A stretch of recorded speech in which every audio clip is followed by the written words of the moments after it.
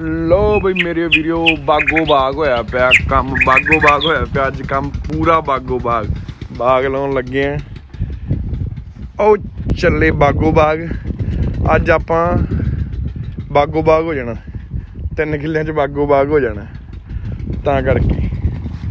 ਉਹ ਭੈਣ ਦੀ ਛਿੱਕੀ, ਉਹ ਤਰੇ, ਤਰੇੜੀ ਬੜੀ, ਉਹ ਭੈਣ ਧੁੱਪ ਚ ਵੀ ਅੱਜ ਕੱਲ ਤੰਤ ਨਹੀਂ ਹੈਗਾ ਭੈਣ ਚ ਧੁੱਪੇ ਤੰਤ ਹੁੰਦਾ, ਤਾਂ ਤਰੇਲ ਕਿਉਂ ਹੁੰਦੀ ਕਣਕ ਤੇ? ਧੁੱਪ ਵੀ ਨਰਮ ਪੈਂਦੀ ਜਾ ਰਹੀ ਹੈ। ਖੁੱਬ ਗਿਆ ਖੁੱਬ ਗਿਆ ਖੁੱਬ ਗਿਆ। ਕਣਕ ਦੇਖੋ, ਘੈਂਟ ਖੜੀ ਨਾ ਸਾਡੀ। ਰੇ ਮੈਂ ਪਾਈਏ ਤਾਂ ਸਾਫ਼, ਚੰਗੀ ਖੜੀ ਹੈ। ਟਾ ਟਾ ਟਾ ਟਾ। ਮੁੜ ਗਈ Luna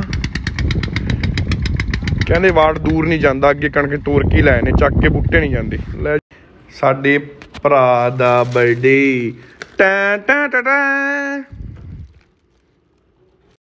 happy birthday to you happy birthday to you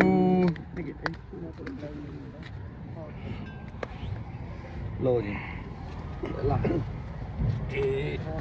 ਕਰਕੇ।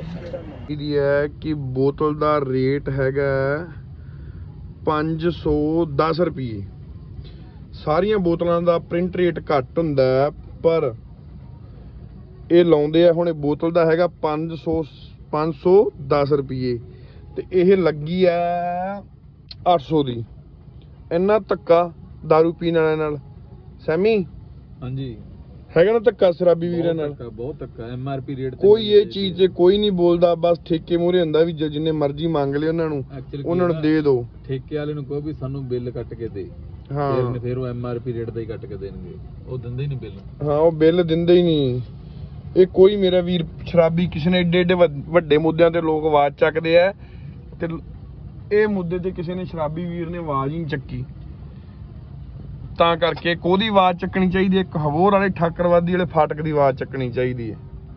ਵੀ ਇੱਥੇ ਜਦੋਂ ਵੀ ਫਾਟਕ ਲੱਗਦਾ ਘੱਟੋ ਘੱਟ ਘੱਟ ਤੋਂ ਘੱਟ ਅੱਧਾ ਘੰਟਾ ਖੜਨਾ ਹੀ ਪੈਂਦਾ। ਇੱਕ ਨੇ ਚੱਕੀ ਸੀ ਆਵਾਜ਼ ਦਾਰੂ ਦੇ ਹਾਂ। ਹਾਂ। ਹੁਣ ਛੋਲੀ ਨੇ ਚੱਕ ਲੈ ਸਹੀ ਜਿਹੜਾ ਆਵਾਜ਼ ਚੱਕਦਾ ਉਹਨੂੰ ਭੈ ਠੇਕੇ ਵਾਲੇ ਚੱਕ ਲੈਂਦੇ ਆ। ਕੀ ਕਰੀਏ? ਕੋਡ ਚਲਾਈ ਦੀ ਐਪਲੀਕੇਸ਼ਨ ਐਮਆਰਪੀ ਰੇਟ ਤੇ ਉਹਨੂੰ ਕੋਈ ਪਰਚੀਆਂ ਮਿਲਣੀ ਚਾਹੀਦੀ ਹਾਂ ਹਾਂ ਹਾਂ ਹਾਂ। ਤਾਂ ਕਰਕੇ ਇਹ ਚੀਜ਼ ਤੇ ਥੋੜਾ ਜਿਹਾ ਗੌਰ ਕਰਿਓ, ਮਾੜਾ ਜਿਹਾ ਯੱਬ ਪਾਇਆ ਕਰੋ ਠੇਕੇ ਵਾਲੇ। ਪਹਿਲਾਂ ਪਊਆ ਲਾ ਕੇ ਫਿਰ ਠੇਕੇ ਤੇ ਜਾਇਆ ਕਰੋ। ਯੱਬ ਪਾਇਆ ਕਰੋ ਮਾੜਾ ਮੋਟਾ।